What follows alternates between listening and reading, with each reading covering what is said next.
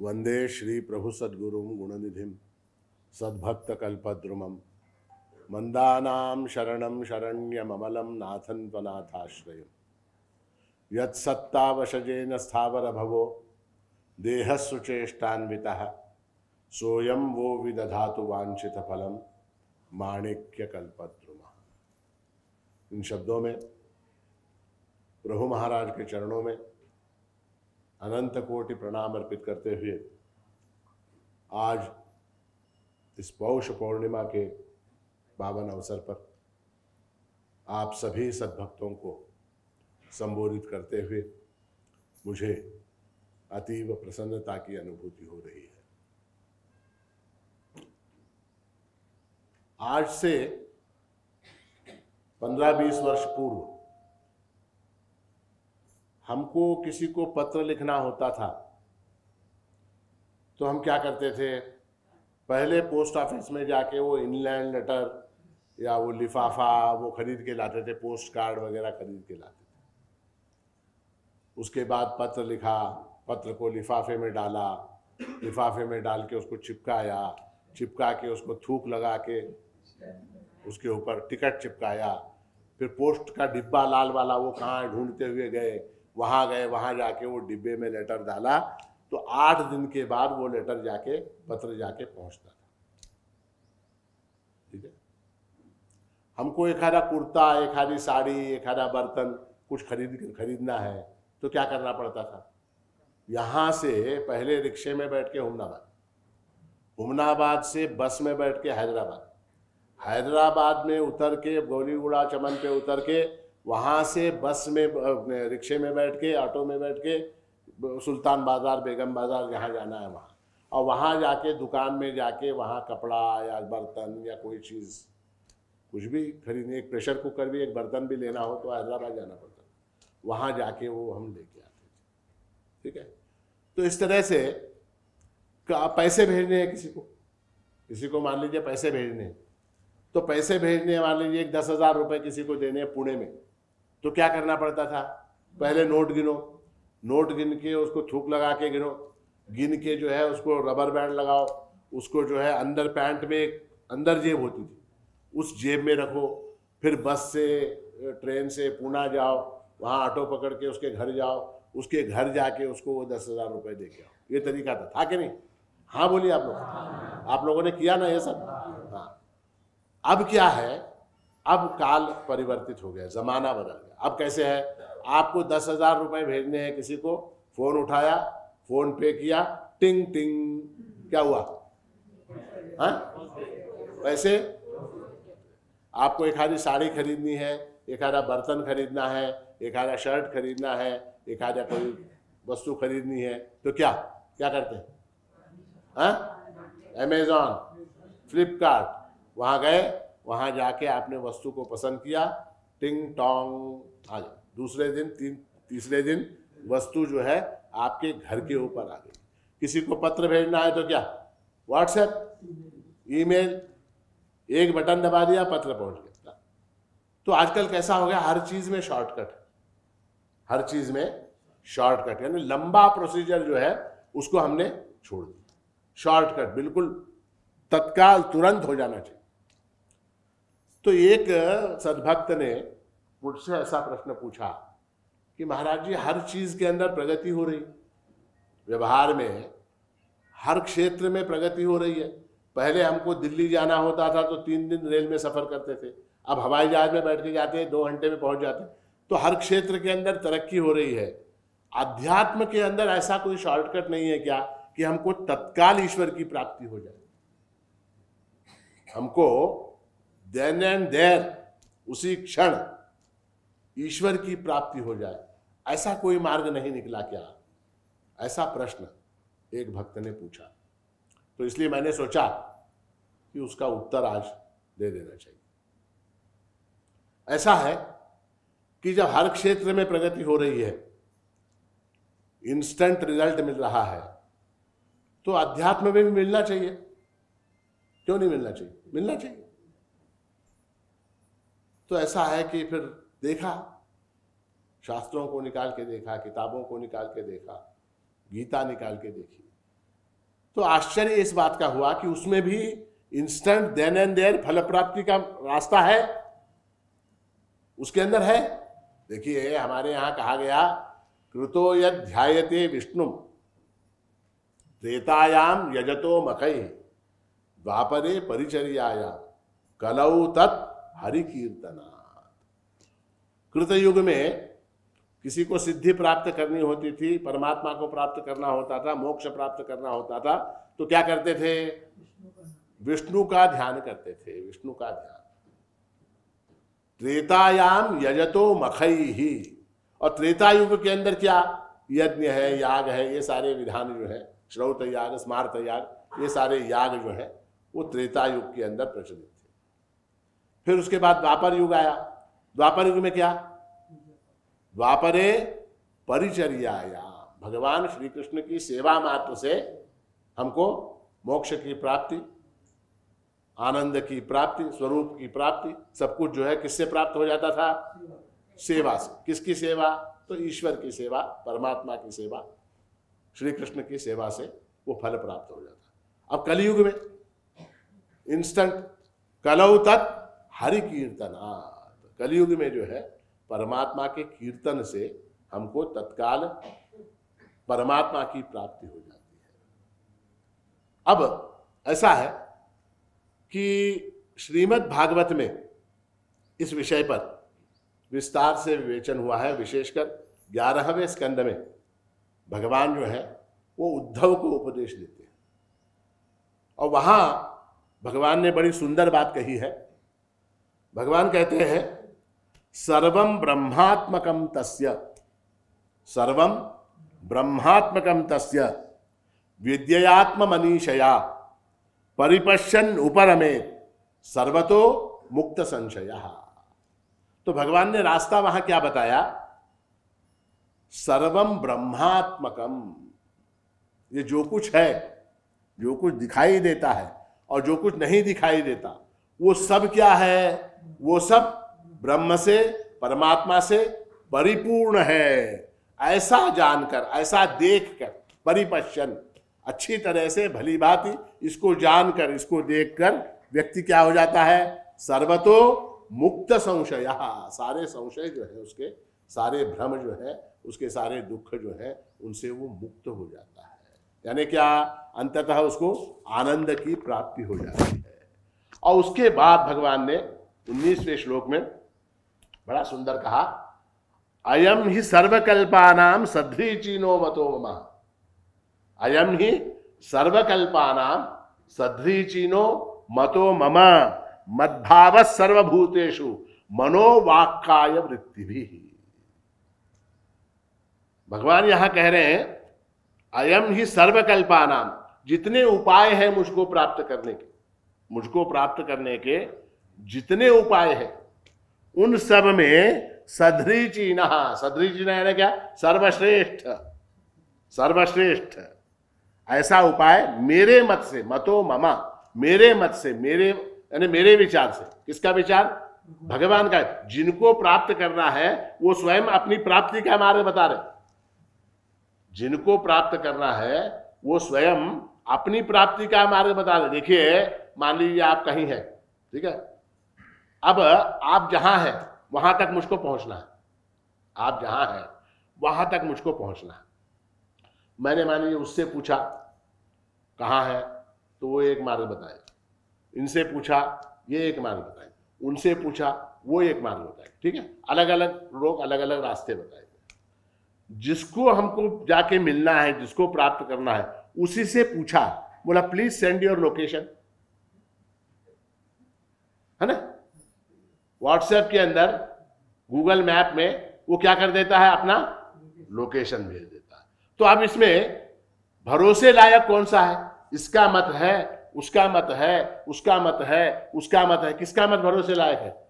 जिस व्यक्ति से हमको मिलना है, उसने जो लोकेशन भेजा है गूगल मैप के ऊपर, वही भरोसेमंद उपाय है। तो यहाँ भगवान का मतो ममा, मेरा मत है।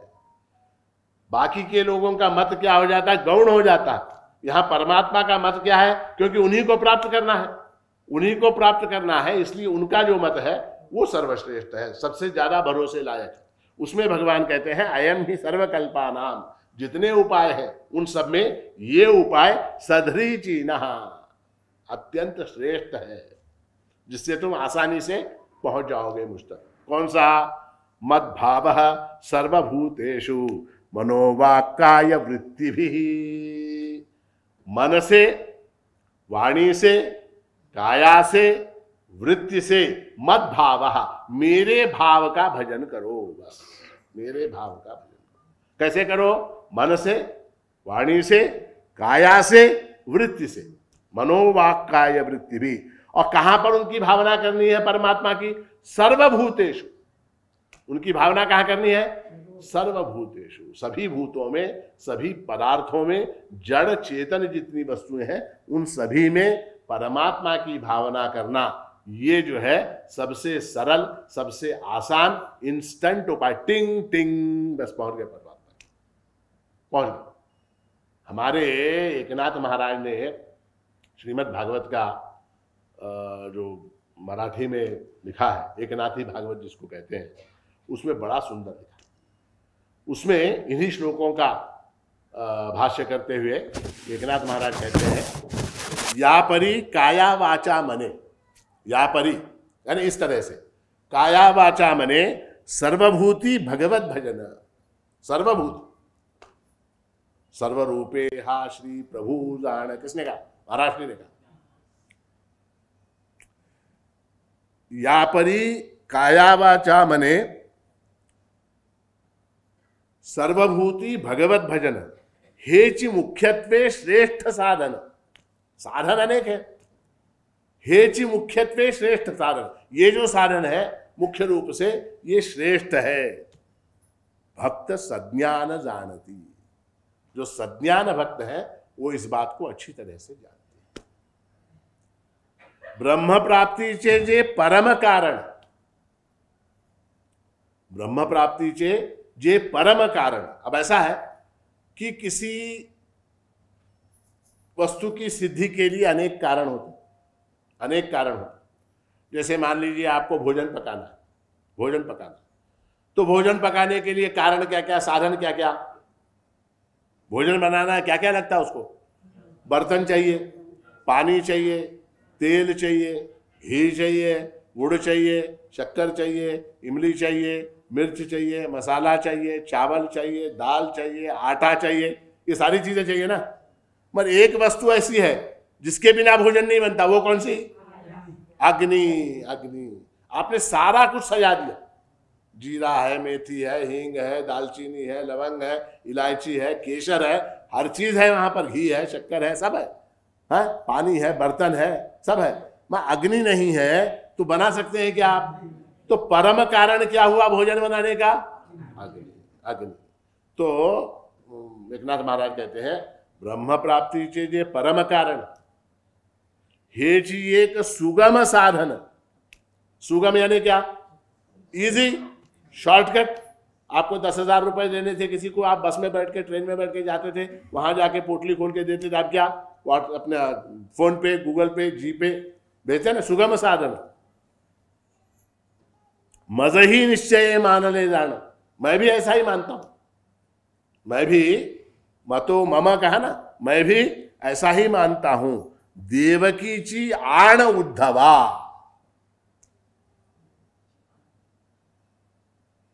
वो हम लोग कहते हैं किसी बात को जब निश्चय पूर्वक बताते हैं। तो हम क्या कहते हैं? आई शपथ सांग म्हणतो की नाही आपण? आई शपथ म्हणजे काय? आई शपथ म्हणजे काय? आई शपथ म्हणजे काय? म्हणजे यात शंकेला वाव नहीं. शंका के लिए, संशय के लिए कोई गुंजाइश नहीं है। माँ की कसम, माँ कसम। इसलिए भगवान कहते देवकी ची आण। और किससे कहते हैं? उद्धवा, उद्धव से। तो सबसे सुगम उपाय जो है, वो क्या है? इंस्टेंट परमात्मा को प्राप्त करने का। तो सभी भूतों में मद भाव, परमात्मा का भाव जो है, वो सभी भूतों में होना चाहिए। अब अब इसमें भी शॉर्टकट जो होते हैं ना शॉर्टकट में भी अनेक प्रकार होते शॉर्टकट में भी अनेक प्रकार होते हैं। जैसे आपको पैसे भेजने। आपको अगर पैसे किसी को भेजने हैं तो आप क्या? फ़ोन पे कर सकते हैं, गूगल पे कर सकते हैं, जी पे कर सकते हैं, ऑनलाइन ट्रांसफ़र कर सकते हैं, और एक और दूसरे अनेक तरीके हैं, पता नहीं कौन कौन से जितने तरीके अनेक तरीकों से भेज सकते हैं, ठीक है? आपको कोई वस्तु खरीदनी है, आप अमेजोन से खरीद सकते हैं, आप फ्लिपकार्ट से खरीद सकते हैं, और और कौन सा होता है? मुझे नहीं मालूम। हाँ? और कौन सा? फ्लिपकार्ट अमेजोन और? हाँ? हाँ स्विगी। पहले जो है भोजन बनाना पड़ता था, अब क्या है? स्विगी। स्विगी वाले को बोल दो, वो कहाँ, वहाँ से लेके आएगा है ना? तो ये सारे तरीके अनेक अनेक तरीके हैं। तो सब भूतों में परमात्मा को देखने का तरीके जो है, हमारे यहाँ शास्त्र में तीन बताए गए। कौन कौन से? एक है कि जगत में प्रभु को देखना। ये जो जगत है ना सारा, इस जगत के अंदर प्रभु बैठा हुआ है या प्रभु बस रहा है, प्रभु व्याप रहा है, ऐसा मानना ये एक तरीका है। जैसे मान लीजिए ये जगत है, ठीक है, ये जगत है, ये जगत है। अब इस जगत के अंदर प्रभु है, परमात्मा है, ब्रह्म है, ये एक तरीका। दूसरा तरीका क्या? दूसरा तरीका यह है कि ये परमात्मा है ये ब्रह्म है, ये प्रभु है, इसके अंदर जगत है। इसके अंदर ये सारा जगत है, ऐसा कहना। और तीसरा उपाय कौन सा? ये जो जगत है, यही परमात्मा करो इसके अंदर बाहर कुछ नहीं। ये जो जगत है, यही परमात्मा स्वरूप है। इस तरह से तीन भाव हो गए, तीन तरीके हो गए। शॉर्टकट के भी तीन तरीके। अब उसमें इन तीनों तरीकों पर थोड़ा थोड़ा विचार करेंगे हम। पहला वाला क्या है? कि जगत में प्रभु को देखना। जगत में प्रभु को देखना। जगत में जब आप प्रभु को देखते हैं तो आप जगत की सत्ता को स्वीकार करते हैं। कि एक जगत नाम की वस्तु है। एक जगत नाम की वस्तु है। उस जगत नाम की वस्तु में प्रभु नाम की वस्तु है। तो यहाँ क्या हो गया? द्वैत आ गया। यहाँ दो वस्तुएँ हो गई। श्रुति का विरोध हो गया। श्रुति कहती है, एकमेव अद्वितीय एकमेव अद्वितीय परमात्मा। वह दूसरा नहीं है। वहाँ कोई दूसरा नहीं हो सकता परमात्मा के अतिरिक्त तो जगत की सत्ता को आपने स्वीकार किया, जगत की सत्ता को स्वीकार करके उस जगत के अंदर आपने प्रभु को बिठाया। ठीक है? तो क्या हुआ? द्वैत भाव आ गया, दो हो गए, एक जगत, एक प्रभु। ठीक है? तो प्रभु का एक प्रतिद्वंदी वहाँ उत्पन्न हो गया। अद्वैत की सिद्धि नहीं होती। तो इसलिए जो है, ये वाला जो रास्ता है, ये कुछ गड़बड़ ये ठीक नहीं। है ना? गूगल पे गूगल पे से पैसे भेजते जल्दी जाते नहीं हो। अटक जाते हैं वहीं पर। अटक जाते हैं वहीं पर। तो ये वाला शॉर्टकट है, मगर थोड़ा सा इसमें गड़बड़ है। दूसरा दूसरा कौन सा? प्रभु में जगत को देखना। प्रभु है, उस प्रभु के अंदर एक जगत है। यहाँ क्या हो गया? यहाँ भी वही बात हो गई। यहाँ आपने फिर पुनः जगत की सत्ता को स्वीकार किया। जगत की सत्ता को स्वीकार किया। प्रभु तो है ही है। उस प्रभु के अंदर, उस ब्रह्म के अंदर जगत है। तो फिर क्या हो गया? फिर वहाँ द्वैत आ गया। फिर वहाँ द्वैत आ गया। और द्वैत जो है, वो दुख का कारण है। अंततः ऐसा नियम है। तो क्या हुआ? ये वाला रास्ता भी थोड़ा सा गड़बड़ है। हालाँकि शॉर्टकट है। मगर उसके अंदर अब तीसरा कौन सा? तीसरा यह है, जगत जो है, जिसको मैं जगत कह रहा था, जिसको मैं जगत समझ रहा था, वो जगत न होते हुए वो प्रभु है। तो इसमें क्या हो गया? इसमें जगत की जो सत्ता है, उसका निराकरण हो गया। जगत की सत्ता का निराकरण हो गया। प्रभु की सत्ता जो है, वो जैसे के वैसे बनी रही। वहाँ क्या है? वहाँ अद्वैत है, वहाँ अद्वैत है। जिसको मैं जगत समझ रहा हूँ या जिसको मैं जगत समझ रहा था, वो वास्तव में जगत न होकर वो क्या है? वो प्रभु ही है, वो परमात्मा ही है, वो ईश्वर है, वो ब्रह्म है। ऐसा मानना तो ये तीन शॉर्टकट के अंदर, ये तीसरा वाला जो शॉर्टकट है, तीसरा वाला जो शॉर्टकट है, वो सर्वश्रेष्ठ माना गया है। इस बात के लिए श्रुति ने तीन उदाहरण देकर यह बात समझाई श्रुति ने, वेदों ने तीन उदाहरण दिए और तीन उदाहरण देकर इस बात को समझाया है। गीता में भी भगवान ने कहा, वासुदेव सर्वमिति समहात्मा सुदुर्लभ। वासुदेव सर्वम जो कुछ है वो सब क्या है? परमात्मा का स्वरूप है। ऐसा जानने वाला समहात्मा, वो महात्मा है। हम इनको उनको महात्मा बोलते हैं। हम जो है, इनको उनको महात्मा बोलते हैं। महात्मा कौन है? जो वासुदेव सर्वम ऐसा जानता है, वो महात्मा है। और ऐसा महात्मा दुर्लभ होता है। ऐसा महात्मा दुर्लभ होता है। तो श्रुति ने तीन उदाहरण देकर ये जगत जो है, वो परमात्मा रूप है, जिसको तुम जगत समझ रहे हो वो वास्तव में परमात्मा है। इस बात के लिए, इस बात को सिद्ध करने के लिए श्रुति ने तीन उदाहरण दिए हैं। कौन कौन से? एक तो सोने का उदाहरण दिया, दूसरा कौन सा दिया? लोहे का उदाहरण दिया, तीसरा कौन सा दिया? मिट्टी का उदाहरण दिया, तीन उदाहरण दिए। यथा सौम्यकेन मृत्पिंडेन सर्व मृण्मय विज्ञात सियाद वाचारंभणम विकारो नामधेयम मृत्युकेत्येव सत्यम। पहले उदाहरण क्या दिया? तो मिट्टी का उदाहरण दिया। यथा, जिस प्रकार, हे सौम्य, हे शिष्य, हे पुत्र, एकेन मृतपिंडेन सर्वम मृण्मयम विज्ञातगम सियात।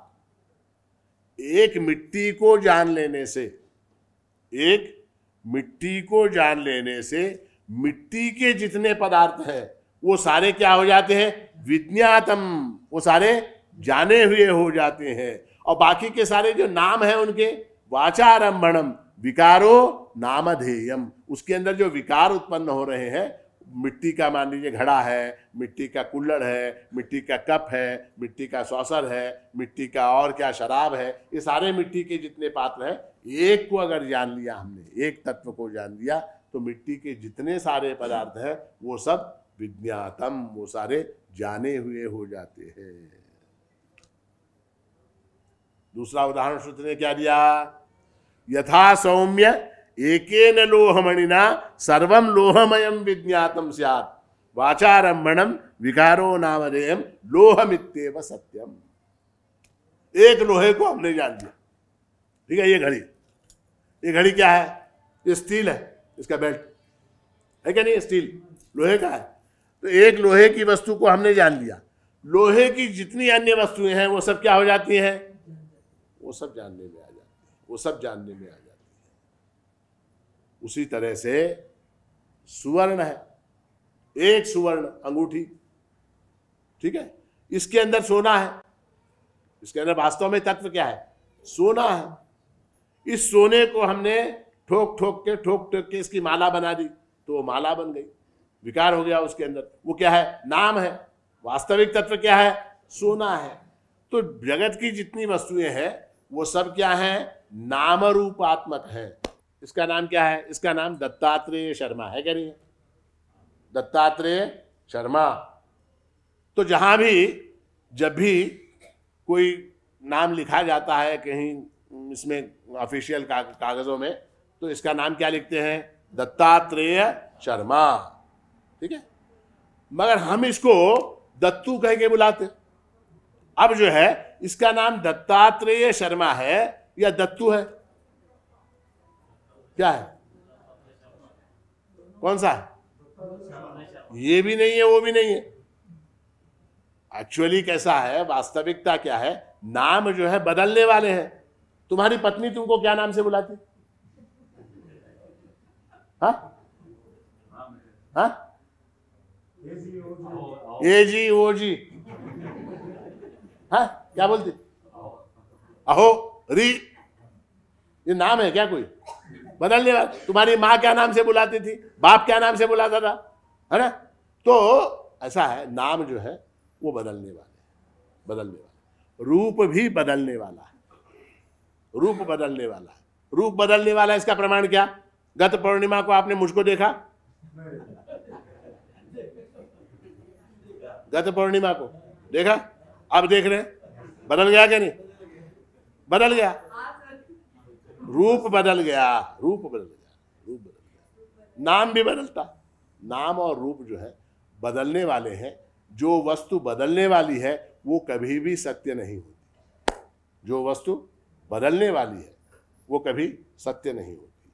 उस बदलने वाली वस्तु का जो अधिष्ठान है, जिस वस्तु का, जिस वस्तु के ऊपर वो नाम रूप टिके हुए हैं, वो वस्तु कभी नहीं बदलती। वो कौन सी है? वो सत्ता है, वो चैतन्य है, वो स्फूर्ति है, वो आनंद है। सच्चिद आनंद जिसको कहते हैं, परब्रह्म, परमात्मा जिसको कहते हैं, वो वस्तु बदलती नहीं है, नाम रूप बदलते रहते हैं।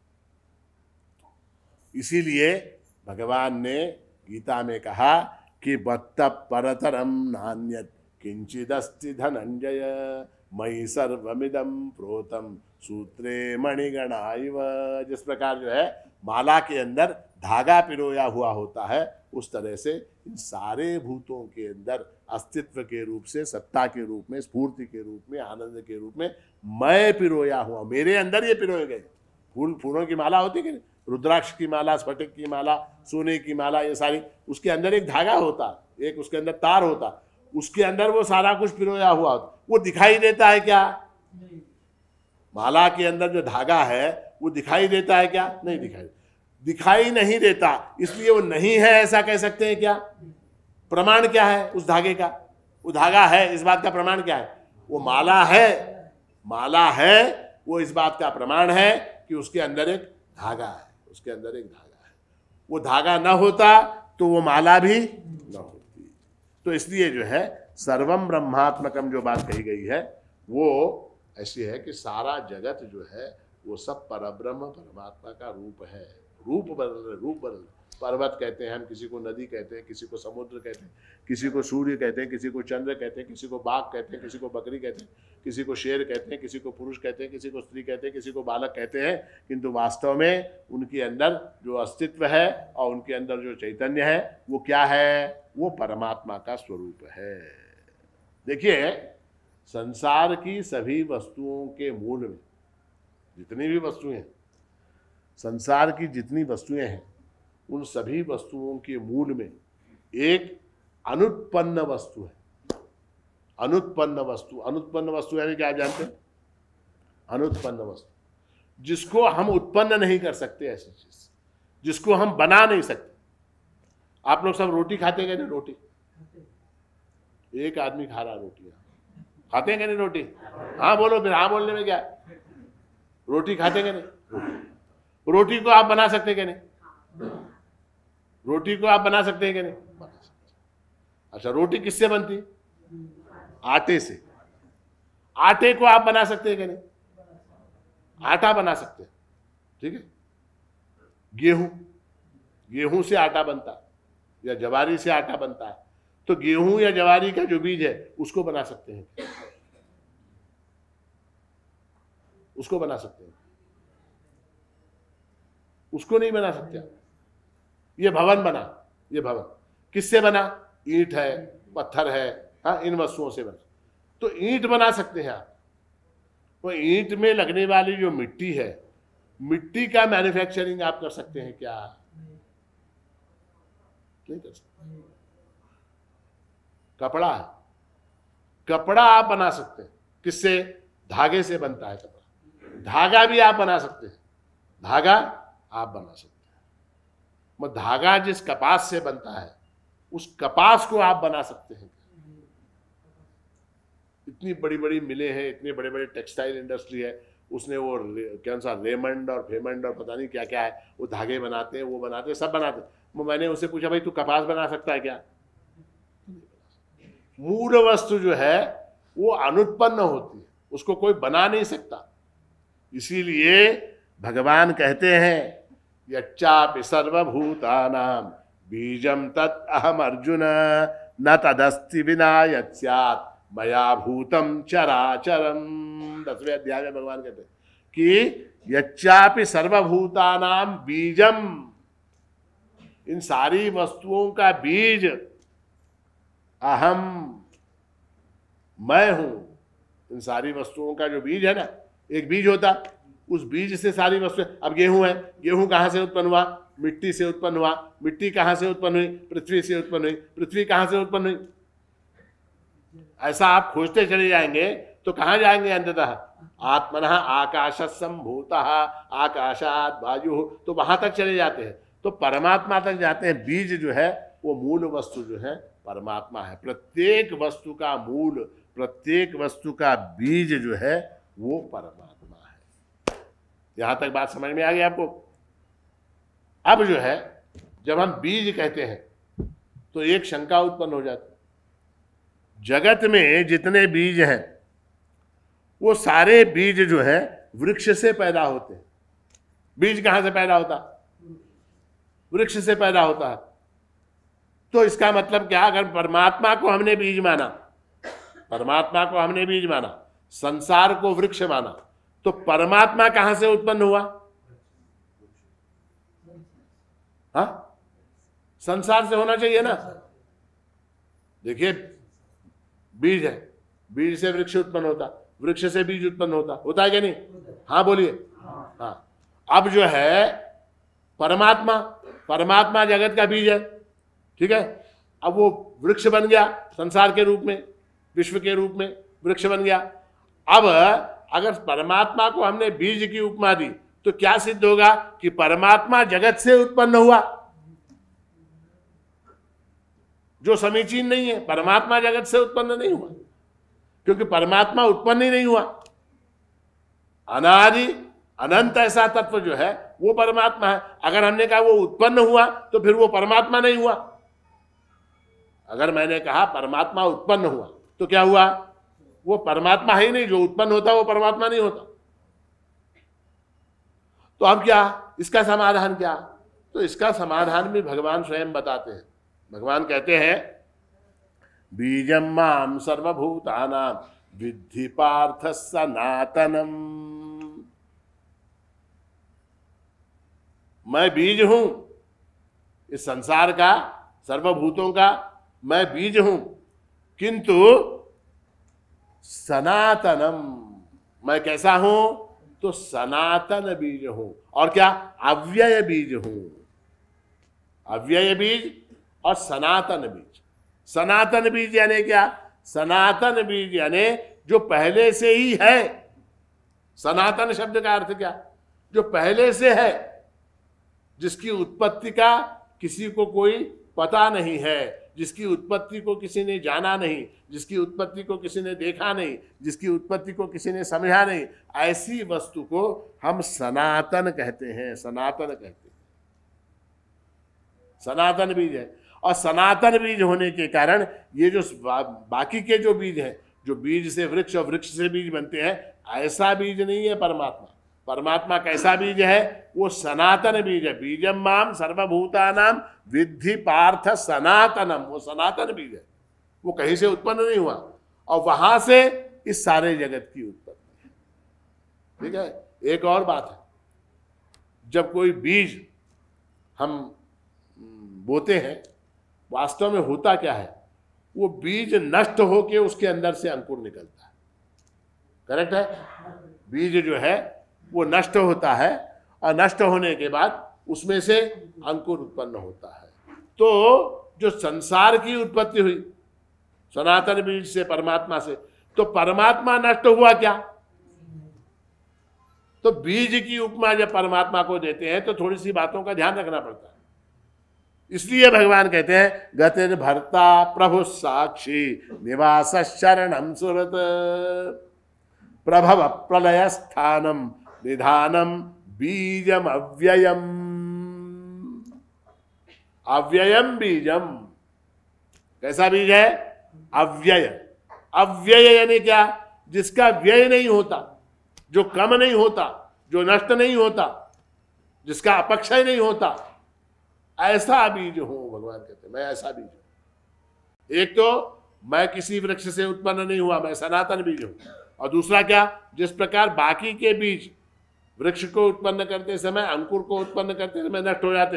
वैसे मैं नष्ट नहीं होता, मैं अव्यय हूँ। और प्रभव प्रलय स्थानम निधानम, बीजम, अव्ययम। इस जगत की प्रभाव जगत की उत्पत्ति का स्थान। प्रभव, जगत की उत्पत्ति। प्रलय, जगत जहाँ लीन होने वाला है। ये वस्तुएँ नष्ट होकर जहाँ जाकर मिल जाती है।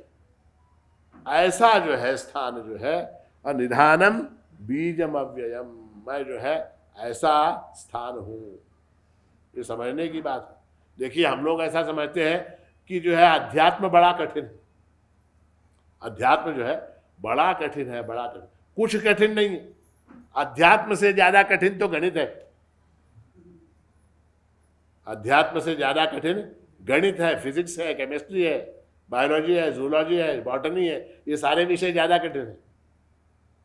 देखिए, ऐसा है, ये सारे विषय जो है ना, कौन से? अंग्रेज़ी है भाषाएँ हैं ज्योग्राफी हिस्ट्री ये सारे क्या है? ये हमसे अलग हट के हमारे बारे में नहीं है। हमारे बारे में नहीं है। जूलॉजी किसके बारे में है? पशुओं के बारे में। बॉटनी किसके बारे में है? वृक्ष वनस्पतियों के बारे में। हिस्ट्री किसके बारे में है? औरंगज़ेब के बारे में है। हिस्ट्री बाकी किसी का ज़िक्र नहीं है। बाबर, उसका बेटा कौन? हुमायूं, उसका बेटा कौन? अकबर, उसका बेटा जहांगीर, उसका बेटा कौन? शाहजहां। देखिए कैसे याद है। और चोल चोल जो राज कृष्णदेव राय, उसका बेटा किसी को मालूम है? कृष्णदेव राय के बाप का नाम मालूम है? नहीं मालूम। हमको ये छह ही मालूम है। शाहजहां औरंगज़ेब ये हमने अपनी घुट्टी में पी रखे। मुगल जो है ना किसी ने कहा, इस देश का निर्माण मुगलों ने किया है। They are the nation builders कहा है। किसी बहुत बड़े विद्वान ने। यही हिस्ट्री हमने, वो हमारे बारे में है क्या? हमारा कोई संबंध है क्या उस हिस्ट्री से? उसकी बीवी मरी, उसने करोड़ों रुपए खर्च करके ताजमहल बना। हमको क्या मिला? हमको क्या मिला? हम बना सकते हैं क्या? आप में से किसी के पास है औकात? ताजमहल बनाने? हाँ? वो छोटा वाला जो मिलता है, वो लाने की नहीं है हमारे पास। जो घर में शोकेस में रखते हैं। रखते हैं कि नहीं? ताजमहल। इतना इतना मिलता है। हाँ। वो लाने की औकात नहीं है हमारी। तो कहने का तात्पर्य कि हिस्ट्री से हमारा कोई ताल्लुक नहीं। जोग्राफी से हमारा कोई ताल्लुक नहीं। ऑस्ट्रेलिया कहाँ है? चाइना कहाँ है? ताइवान कहाँ है? वियतनाम का हमको क्या मतलब ये हमारा अपना शास्त्र हमारे बारे में, आत्मा के बारे में, अपने बारे में। तो ये आसान हुआ या वो आसान हुआ? कौन सा आसान हुआ? हा? अपने बारे, मेरे पेट में दर्द हो रहा है, ये किसको मालूम होता? मुझे, मेरे सिर में दर्द हो रहा है, किसको मालूम होता? मुझे मालूम है? तो ये जो है आसानी से क्या, किसी को बताने की आवश्यकता है क्या? तेरे पेट में दर्द हो रहा है, ऐसा कोई बोलता है क्या? आप में से कोई बोला? तेरे पेट में दर्द हो रहा, तेरे सिर में दर्द हो रहा, तेरा हाथ दुख रहा, तेरा पैर दुख रहा, ऐसा कोई बोला? ये प्रवचन सुन के तू बोर हो रहा, ऐसा कोई बोला? नहीं, आप बोर हो रहे आपको मालूम है आप बोर हो रहे हो? रहे क्या नहीं? तो कहने का तात्पर्य है कि अपने बारे में जानना बहुत आसान है, बहुत सरल है। दूसरों के बारे में जानना अत्यंत कठिन है। हम क्या समझते हैं भ्रम के अंदर? कि वो जो अन्य विषय है, अन्य विषय rocket science rocket science rocket science चंद्रमा पर जा रहे हैं। ठीक है, बहुत अच्छी बात है, विज्ञान की प्रगति है, बहुत अच्छी बात है। वो मेरे बारे में है क्या? मेरे बारे में नहीं है। वो जो मेरे बारे में है, वो आसान है। भ्रम ऐसा हमने पाला कि जो मेरे बारे में है, वो कठिन है। वो कठिन। और दूसरा जो है वो सब आसन। शाहजहां की कितनी बीवियाँ थी, कितनी मरी, कितनी ज़िंदा बची, कितनी के ऊपर ताजमहल बना, ये सारा आसान। ये सारा आसान। औरंगज़ेब ने कितने मंदिर गिराए, हा? कितने हिंदुओं को कत्ल किया, ये सारा जानना आसान है। अपने बारे में जानना मुश्किल। अजीब बात तो भगवान कहते हैं कि आदि में, अंत में जिस, देखिए, जिस वस्तु की आदि में जो होता है और अंत में जो होता है, बीच में भी वही रहता है। ये नियम है। जो वस्तु आदि में जो होती है, अंत में जो होती है, बीच में वही रहती है। जैसे ये अंगूठी है। ये अंगूठी बनने से पहले क्या था? हा? सोना था। ये अंगूठी तोड़ने के बाद यहाँ क्या बचेगा? अंगूठी तोड़ने के बाद सोना अंगूठी बनाने से पहले, अब बीच का जो काल है, अंगूठी बनने के बाद और तोड़ने के पहले, ये जो बीज का काल है, उसके अंदर ये वस्तु क्या हो जाती है? सोना ही रहती देखिए, अंगूठी बनने से पहले ये सोना था, अंगूठी टूटने के बाद भी ये सोना रहेगा। तो बीज का जो काल है, जिसको हम अंगूठी के अंगूठी का काल उस अंगूठी के काल में अंगूठी है क्या? नहीं है, वो सोना ही है। वो सोना ही है। अब जैसे ऐसा है कि जगत जो है, आदि में परमात्मा स्वरूप था। अंत में केवल प्रभव अप्रलय स्थानम, निधानम बीजम अव्ययम कहा भगवान ने। तो अंत में भी ये परमात्मा स्वरूप होने वाला तो बीच के काल में क्या है? बीच के काल में भी ये जगत परमात्मा स्वरूप है। अब एक और समस्या आ जाती है। जगत को परमात्मा स्वरूप मानने में एक समस्या आती है। जगत जो है, वो विनाशशील है। क्या है? जगत की प्रत्येक वस्तु नष्ट हो रही है, विनाशशील है। और जगत की वस्तुओं के अंदर दुख है। जगत की वस्तुओं के अंदर दुख है। अब अगर हमने जगत को परमात्मा स्वरूप माना तो उसके अंदर क्या हो गया? उसके अंदर एक तो विनाशशीलता का दोष आ गया। ये जगत विनाश नष्ट हो रहा है तो परमात्मा भी जगत के अंदर दुख है तो परमात्मा भी दुख रूप है। ये दोष आ जाता है। उसका निराकरण शास्त्र ने इस प्रकार से किया है कि जगत जो नष्ट हो रहा है, हम जो कहते हैं ना, नष्ट हो रहा है।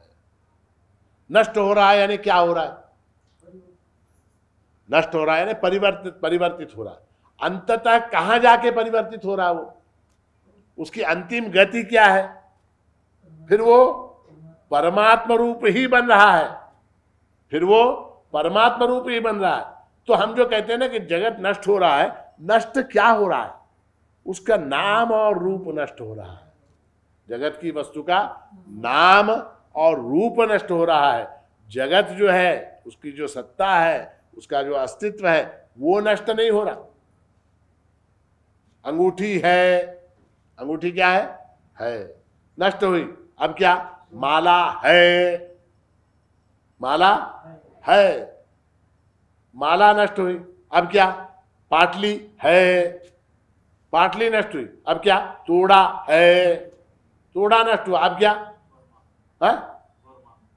हाँ बोर बोरमाड़ हाँ। बोरमाड़ है तो पुतली माड़ कौन सा माड़ वो माड़ गौ माड़ सारे माड़ है है है है के अच्छा इसको जला दिया हमने। इसको जला दिया। जलाने के बाद क्या? राख है। राख है। तो जगत की किसी भी वस्तु को उत्पन्न नहीं किया जा सकता, जगत की किसी भी वस्तु को नष्ट नहीं किया जा सकता। ऐसा विज्ञान का नियम है, मैं नहीं कह रहा। हमारे अध्यात्म की बात तो हमने तो पहले, लाखों करोड़ों साल पहले कह दिया हमने ये बात। आज के जो वैज्ञानिक हैं, वो भी ये मानते हैं कि matter can not be created, nor can it be destroyed. ये लक्षण किसका है? विज्ञान की दृष्टि से। Matter can not be created. Nor can it be destroyed इस वाक्य का अर्थ क्या? पदार्थ को उत्पन्न नहीं किया जा सकता। पदार्थ को नष्ट नहीं किया जा सकता। ऐसी कौन सी वस्तु है? ऐसी वस्तु, यानी पदार्थ अगर ऐसा है तो लक्षण किसके ऊपर घटित होता है? परमात्मा ही ऐसा है, जिसको उत्पन्न नहीं किया जा सकता, जिसको नष्ट नहीं किया जा सकता, वो परमात्मा है। पदार्थ के अंदर भी वही लक्षण है। कौन सा? उत्पन्न नहीं किया जा सकता, नष्ट नहीं किया जा सकता। इसलिए पदार्थ क्या है? पदार्थ इज़ इक्वल टू परमात्मा। पदार्थ इज़ इक्वल टू परमात्मा। तो इसलिए जो दोनों दोष आए थे, पहला वाला कौन सा कि नष्ट होता है जगत, दूसरा वाला कौन सा कि दुख, अब दुख की बात। अभी जो दुख होता है, अभी जो दुख होता है, वो किसको होता है? किसको होता है? मनुष्य को या प्राणियों को जो दुख होता है, उनके मन को होता है, उनके मन को होता है। हम यहाँ जो जगत या भूत या प्राणी जो कुछ भी कर रहे हैं, वो परमात्मा स्वरूप है। क्या कह रहे हैं? कि ये जो है, इनका जो आत्मस्वरूप है, इनका जो सत्स्वरूप है, इनका जो अस्तित्व है, वो परमात्मा रूप है, ऐसा कह रहे दुख किसको होता है? दाग जो है, वो शरीर के ऊपर, शर्ट के ऊपर गिरा। दाग। है? दाग। शर्ट के ऊपर गिरा। तो शरीर के ऊपर गिरा क्या? शरीर के ऊपर नहीं गिरा। वो जो भी दुख है, वो नाम रूप को ही होता है। दुख जो होता है, वो नाम रूप को होता है। जैसे मेरे शर्ट के ऊपर भंडार खाने में मैं गया कुछ देखने के लिए, वहाँ दाल ऐसे उठा के किसी ने ऐसे किया, मेरे शर्ट के ऊपर गिर गई थोड़ी दाल। तो मेरे शर्ट के ऊपर अगर दाल गिर गई तो मेरे शरीर के ऊपर गिरी क्या? मेरे स्वरूप के ऊपर गिरी क्या? नहीं। कहा गिरी? शर्ट के ऊपर जिसको मैं उतार के फेंक सकता हूँ, जिसको मैं उतार के फेंक सकता हूँ। तो कहने का तात्पर्य है कि कोई भी दोष जो है, जितने भी दोष लगाने का प्रयत्न करें, ये कोई दोष टिकता नहीं है। जगत जो है, वो परमात्मा स्वरूप ही है। पहले भी परमात्मा था। प्रमाण क्या? तो श्रुति ने कहा, सदैव सौम्य इदम अग्रे आसीत। इदम अग्रे आसीत क्या सत इस जगत की उत्पत्ति से पहले सत रूप से परमात्मा ही विद्यमान थे। और अंत में अंत में भी परमात्मा ही रहेंगे। अंत में कौन रहेगा? सारा जब कुछ नष्ट हो जाएगा, नष्टे लोके विपरार्धावसाने, महाभूतेष्वादिभूतम गतेशो व्यक्ते व्यक्तम कालवेगेन याते भवान एक शिष्यते शेष संध्या भागवत में कहा, ये कौन कहता? ये देवकी माता कहती। कब कहती हैं? जब भगवान श्री कृष्ण का जन्म होता है उस समय कहते। जब भगवान ने अवतार धारण किया तो उनकी स्तुति की देवकी ने।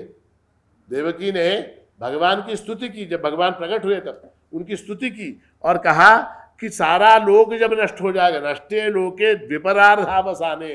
सारे परार्ध, अपरार्ध जितने हैं, वो सारे जब नष्ट हो जाएँगे महाभूतेश्वादिभूतम गतेशु और जितने भूत हैं, वो सारे भूत जो है आदि भूत के अंदर। जब प्रविष्ट हो जाएँगे, व्यक्ति अव्यक्तम काल वेगे न आते और ये सारा जो कुछ व्यक्त दिखाई दे रहा है, काल के प्रभाव से, वो जब सारा अव्यक्त हो जाएगा भगवान एक, शिष्यते शेष संज्ञा। भगवान आप जो है, उस समय केवल आप ही बचेंगे। किसने कहा? देवकी। ने कहा। किससे कहा? भगवान श्री कृष्ण से कहा। कब कहा? उनके जन्म के समय कहा। अब जन्म। अब कह रहे हैं उनका जन्म नहीं है मृत्यु नहीं है नष्ट नहीं है। जब उन्होंने अवतार धारण किया उस समय माता देवकी ने कहा कि भगवान एक शिष्य थे शेष संध्या। तो मध्य में भी वही है आदि में वही है अंत में वही है मध्य में भी वही है। वासुदेव सर्वमिति स महात्मा सुदुर्लभा। भगवान स्वयं कहते हैं। देखिए, उसके लिए प्रमाण जो है भगवान के मुँह से ही लेने के अहम आत्मा गुड़ा केश सर्वभूताशय स्थित। अहम आदिश्च मध्यंच भूतानाम अंत एवच बिल्कुल साफ़। कोई संशय की गुंजाइश नहीं। साफ़ कह दिया। क्या कहा? अहम आत्मा गुड़ा केश। हे अर्जुन, मैं आत्मा हूँ। और कैसा? सर्वभूताशय स्थित सभी भूतों के हृदय में निवास करता हूँ। वहाँ स्थित वहाँ रहता हूँ। कहा रहता हूँ?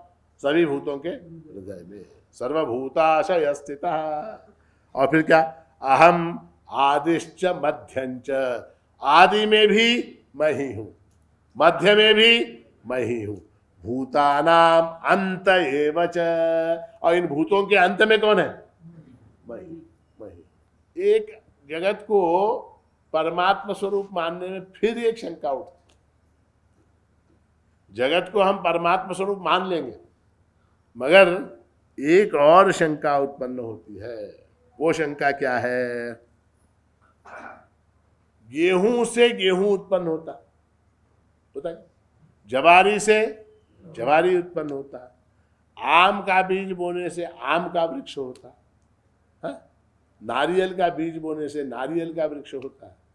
अब परमात्मा अगर जगत के बीज हैं तो वहाँ से परमात्मा ही उत्पन्न होना चाहिए। वहाँ से चित्र विचित्र जगत कैसे उत्पन्न हो गया? सोचने की बात चित्र विचित्र जगत उत्पन्न हो गया। कोई दुष्ट लोग, गुंडे लोग हाँ?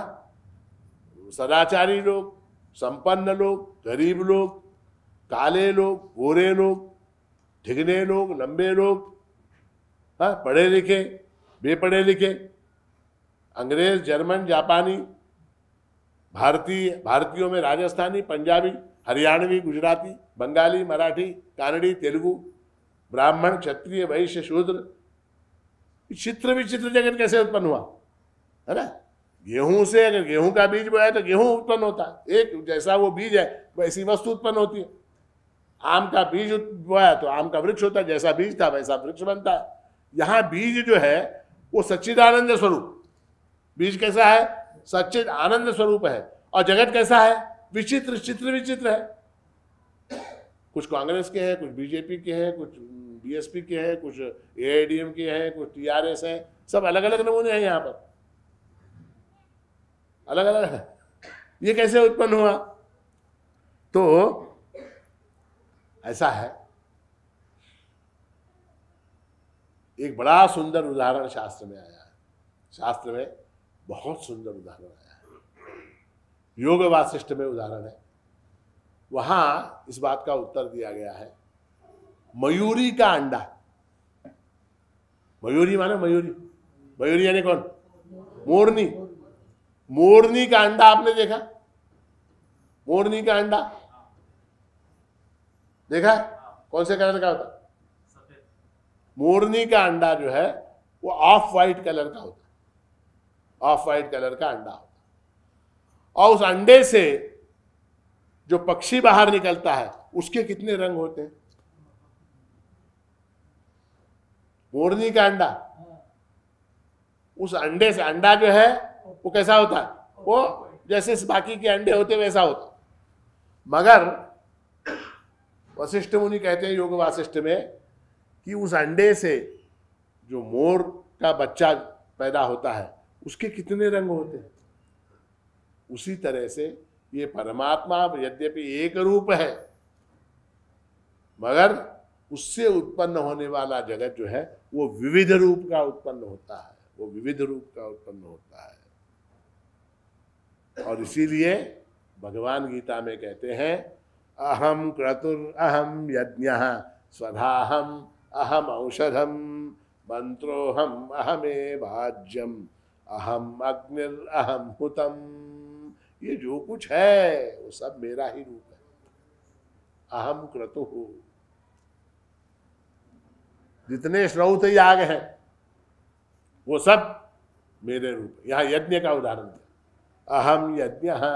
जितने स्मार्त याग है, वो सब मेरे रूप है अहम क्रतुर, अहम यज्ञ, स्वधाहम, अहम औषधम। और जो पितृ यज्ञ है, स्वधा स्वधा पितृभ्य।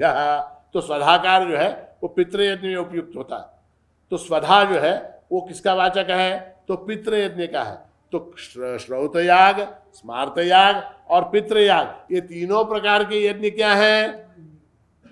अहम औषधम। उन यज्ञों में उपयुक्त होने वाली जो सामग्री है वो कौन है? मंत्रोहम। उन यज्ञों में प्रयुक्त होने वाले मंत्र क्या है? वो मेरा ही स्वरूप है। अहमेव आज्यम। उन यज्ञों में प्रयुक्त होने वाला जो घी है, वो क्या है? वो मेरा स्वरूप है। ठीक है? अहम अग्नि। और उस हविर द्रव्य को स्वीकार करने वाली जो अग्नि है, उसको ग्रहण करने वाली जो अग्नि है, वो किसका स्वरूप है? वो भी मेरा ही स्वरूप है। और उस अग्नि के अंदर डाली गई जो आहुति है, जो वहाँ पर हुत हो जाती है, वो हुत होने वाली जो आहुति है, वो किसका स्वरूप है? अहम हुतम। मैं ही हुत होता हूँ उसके अंदर। मैं ही उसको जलाता हूँ। मैं ही उसको प्रज्वलित करता हूँ, मैं ही मंत्र बोलता हूँ। सारा स्वरूप जो है, वो मेरा है, ऐसा भगवान ने कहा है। और इसी तरह से यही बात फिर भगवान ने कही, ब्रह्मार्पणम, ब्रह्म हवि, ब्रह्माग्नौ, ब्रह्मणाहुतम ब्रह्म तेन गंतव्यम ब्रह्म कर्म समाधिना। सब कुछ जो है, सब कुछ मेरा ही स्वरूप है, ऐसा भगवान ने अनेक बार, एक जगह नहीं, अनेक, मैंने कितने उदाहरण दिए आपको तो अनेक स्थान पर, अनेक स्थान पर भगवान ने भगवत गीता के अंदर, श्रीमद् भागवत के अंदर ये कहा कि ये जगत जो है, वो मेरा स्वरूप है। समझ में आई बात? अब अब हम जगत को किस दृष्टि से देखते हैं? हम जगत को किस दृष्टि से देखते हैं? हम जगत को जो है, अपने भोग की वस्तु के दृष्टि से देखते हैं। ये जगत क्या है? ये मेरे भोग के लिए है। ये मेरे भोग के लिए है। इस दृष्टि से हम जगत को देखते अच्छा कुछ लोग क्या है? जगत से भय खाते कुछ लोग जो है, इस जगत को देख के डर जाते हैं। उससे भय खाते हैं। कुछ लोग क्या है? इस जगत को दुख का कारण मानते हैं। तो अनेक लोग जो है, अनेक प्रकार से जगत को देखते हैं। वास्तविकता क्या है? वास्तविकता यह है कि ये जगत जो है प्रभु परमात्मा का स्वरूप है। उसको उसी दृष्टि से देखना चाहिए। उसको उसी दृष्टि से देखना चाहिए। ये क्या है? ये शॉर्टेस्ट मेथड है। परमात्मा को प्राप्त करने का शॉर्टेस्ट मेथड है शॉर्टेस्ट मेथड सबसे आसान तत्काल जो है, अगर आपको सिद्धि प्राप्त करनी है, परमात्मा को प्राप्त करना है तो जगत को ब्रह्म रूप जानना, जगत ही ब्रह्म है, ऐसा मानना जो है, ये सबसे आसान तरीका फिर वापस लौटते हैं, हम कहा, आसान तरीकों की बात में फ़ोन पे में तो वहाँ क्या है कि आपके पास फ़ोन पे है, आपको मालूम है आसान तरीका कौन सा है, ठीक है? मगर आपके पास अगर उसका पिन नहीं है, कौन सा? पिन यानी क्या? हा? वो जो चार डिजिट का होता है ना, चार डिजिट का पिन पिन होता। वो फ़ोन पे है, आपके अकाउंट में बैलेंस है, सब कुछ है, मगर आपको कुछ करना है, कुछ भेजना है, कुछ खरीदना है, वो पिन अगर नहीं मालूम तो फिर क्या हो जाएगा? फिर आपका काम नहीं काम नहीं तो वो पिन कौन सा है? पिन कौन सा है? वो पिन कौन सा है? वो पिन जो है, वो प्रभु का नाम है। गिनिए चार अक्षर का पिन, कौन सा? श्री मा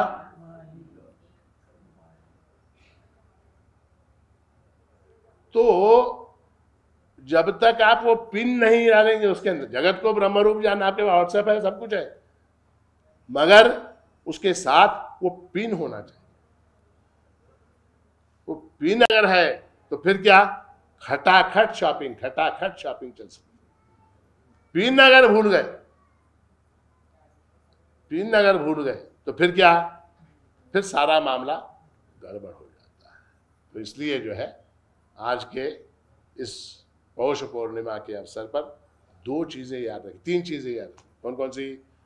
कि जगत परमात्मा को प्राप्त करने का सुगम, सरल इंस्टेंट उपाय है क्या? तो उसका उत्तर क्या? है। उसका उत्तर है। वो उपाय क्या है? वो उपाय कौन सा है? तो जगत को परमात्मा स्वरूप मानना ये उपाय है ठीक? अब वो जो मानने की जो प्रक्रिया है उसके अंदर उपयुक्त होने वाला पिन कौन सा? तो वो परमात्मा का इस पिन का उपयोग करते हुए उस ऐप का उपयोग करते हुए अगर आपने ठीक तरीके से बटन दबा दिए तो इंस्टेंटली जैसे आपको फ्लिपकार्ट अमेजोन व्हाट्सएप और कैप मतलब गूगल पे, फलाना पे फ़ोन पे, वहाँ से जैसे आपकी कार्य की सिद्धि होती है, उस तरह से अध्यात्म में भी आपकी सिद्धि अवश्य होगी। वो हो, ऐसा आशीर्वाद देते हुए आज के इस प्रवचन को यहाँ विराम देता हूँ। अवधूत चिंतन श्री गुरुदेव दत्त, सदगुरु माणिक प्रभु महाराज की जय।